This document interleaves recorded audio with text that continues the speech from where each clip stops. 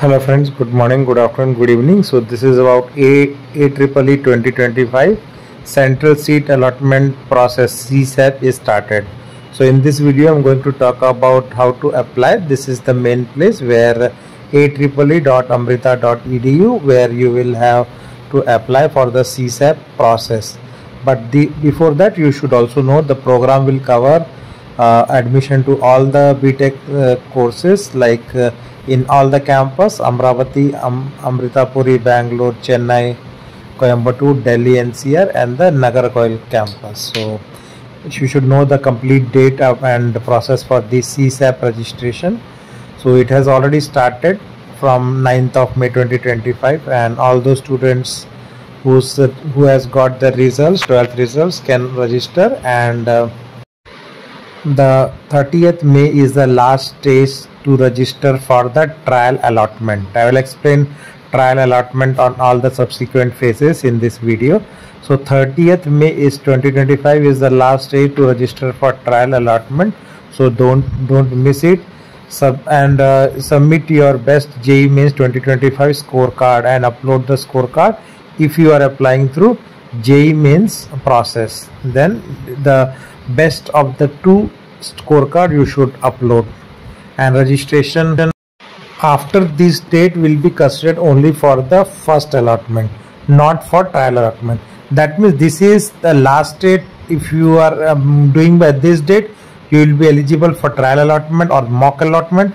If you are doing after this date then you will not be eligible for tri trial allotment so when is the trial allotment? So trial allotment will be done on the 2nd of June 2025 and based on this mock allotment you will come to know what is the type of seat you can get at what slab of fees.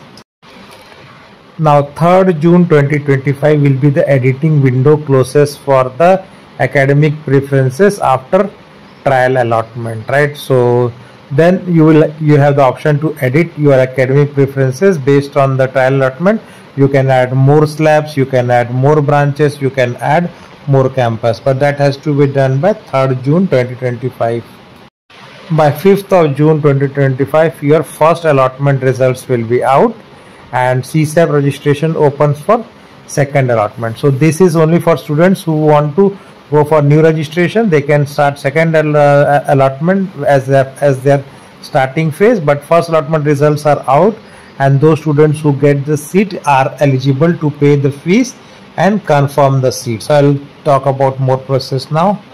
So for the students who got the seat in the first round of seat allotment they last date to pay the fees is uh, you know 13th June 2025 and you have to pay 1 lakh rupees as a tuition fee for the first round allotment candidate so that your seats are confirmed and otherwise your seat will be lost and the uh, you know 15th June 2025 is the last date to register for the second round of allotment. So all the new new uh, registrations which has happened they can do up to 15th of June 2025 and they will be eligible for allotment in the second round. Now 17th June is the date when the second round results or allotment results will be published and uh, then students uh, can basically uh, have options to pay the fees. So that is the sec uh, second allotment date. And mop-up registrations for the upgrade request non-allotted request and new registrations will again start right? So after second round there will be directly the mop-up round. So there is no third round so, so mop-up round depends if there is the seats left. If seats are full there will be no mop-up round but if the seats are left there will be mop-up round and definitely it will be there for the core branches right? So since uh, mm, second round allotment was there so for the second round, uh, round allotment students they will have to pay the fees by 24th June and also for the first round allotment student. First round allotment students who paid only 1 lakh rupees during the first round now they have to pay the remaining amount. For the second round allotted student they have to pay the full amount on 20 before 24th June to confirm their seat. So this, by this time all the students would have paid all the fees whether they would have got on first round or they would have got on the second round of seat allotment. After that the last date for registration for the mop-up round will be like uh, 26th June. So you have first round you have second round you have mop-up round. So mop-up round 26th June 2025 whosoever is uh, eligible please apply and uh, registration closes at that point of time now 28 June 2025 will be basically when the results for the mop-up round will be uh, published right? And all those students who get the seat allotted in the mop-up round then will be expected to pay the fees right?